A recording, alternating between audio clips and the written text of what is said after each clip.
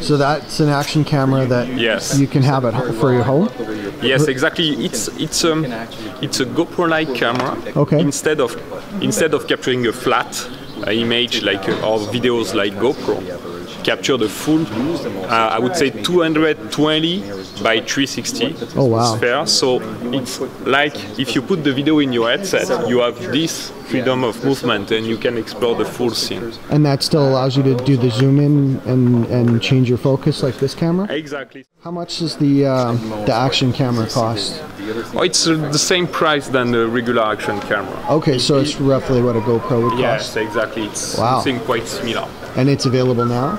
It's uh, on the on the way. Okay. So you will have uh, do- you will see multiple device like this uh, on the market between the end of this year and uh, next year. That's another action cam, Yes. Okay. Same technology, uh, much smaller lens. much much smaller, and uh, this one is uh, produced, designed and produced by Quanta Computer in Okay. Taiwan. So you will see some this product going out with a brand between the uh, I would say at the end of this year. Okay.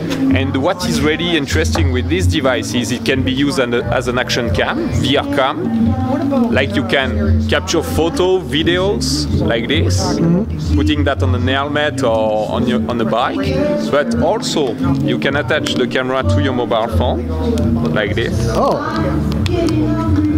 and you can capture content. Or it will be the first camera that stream live VR content. So you can, that is the prototype, okay? It won't be like this at the end, but you can attach, wire the camera to your smartphone and live stream. and live stream VR content. Wow. So, I was talking to Louis on Sunday, and Yes. he was saying that there's a magnetic camera. Is that this one? Yes, exactly. Okay. This is this is this one. So it snaps on with a magnet. That's neat. So this is the this is the video record from the from the device, and uh, so I I don't. So if you notice, there is some marks on yeah, the each. QR codes. yeah. Exactly, exactly. And so those marks include all the information from the device. This device has G sensor, compass, accelerometers, Oh, okay. and like a head-mounted display.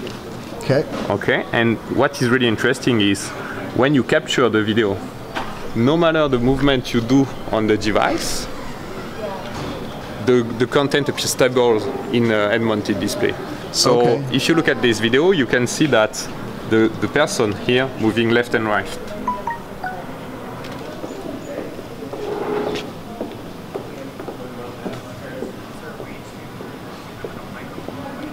Okay. Yeah. So I, I can see it was just, they were just holding it and moving back and forth.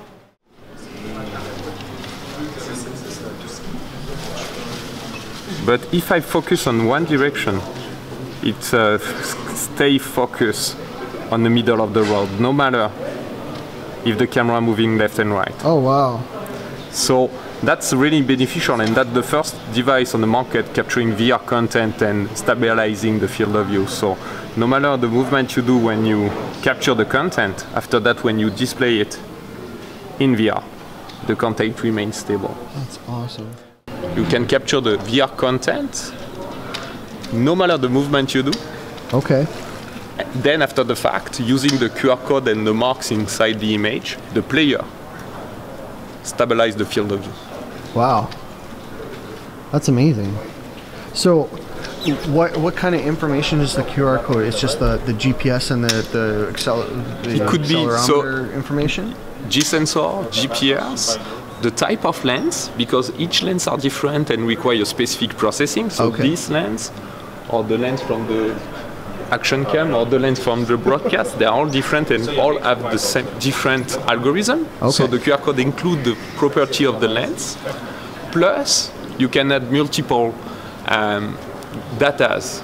For example, some uh, device manufacturer add the type of device, the usage of the device, Okay. how the user uh, trigger the, the camera when it trigger the camera. So that's help them to have more data about the device usage. Okay. Uh, you can add uh, the copyright for broadcast, for example, or the score of the game, or it's not limited to a small amount of data. You can add Okay. your own. Oh wow. And so after that, on the player side, you can get those data to create different user experience for marketing, for analytics, uh, for content protection as Okay. well.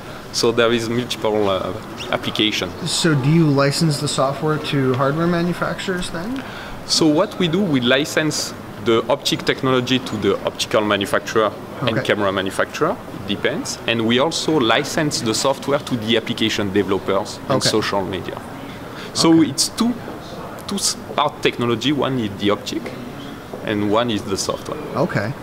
And our goal is really to spread the software as much as possible with multiple app developers and social media to make the device compatible directly with, uh, with the existing player and platform.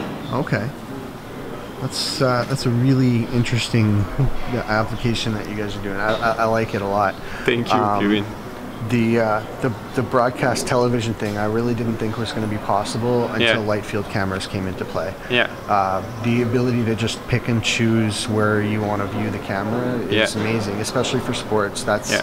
I'm not a sports fan at all, but Yeah. as soon as VR came into play, I was like, I want to be on the field next Exactly. to the next to the quarterback, re- accepting the snap. Like I, I want to be I want to be right next to the goalie who like makes that amazing save, right? Exactly. Uh, this is the first time I've seen anything that comes close to that ability. Yeah.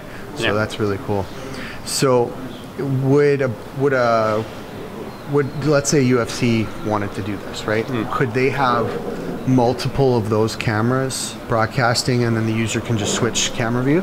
That's exactly the intention Okay. of, the, of uh, this technology. So pulling different cameras at different uh, uh, location Yeah. in the arena, as you mentioned, uh, behind the goalie or between in the arena between the two teams. Yeah. Uh, so and then you can enjoy different place and feel to be there and even teleport yourself from one place to another Yeah. real time. So you can even follow the uh, the ball or the, your favorite players by switching from different parts. That's incredible. Yeah. Yeah, I, I, I really didn't think we'd be able to do that until light field, and that's Yeah. probably a few years away still. Yeah. So, Oh, wow. So, um, how, how long have you guys been in business?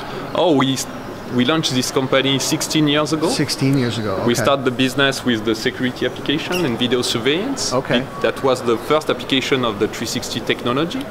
Then we, we also uh, developed automotive and defense application based on 360 technology. Okay. And more recently, I would say three years ago, we developed the technology to go to consumer market, action cam, and mobile phone. Okay, and now you're just breaking into that market now. Yes, exactly. So you will see product coming out uh, this year and next year. Very interesting. Yeah, I, I when you mentioned that you could have like a camera at the goalie, I was thinking, Yeah. well, you could put one of those those action cams Yeah. right inside the goal. Yeah. And and you could just zoom right in and watch Yeah. the yeah, that would be really neat. So, and feel what you feel, see what you see, yeah, feel to be there. Mm-hmm. Yeah. yeah, that's incredible.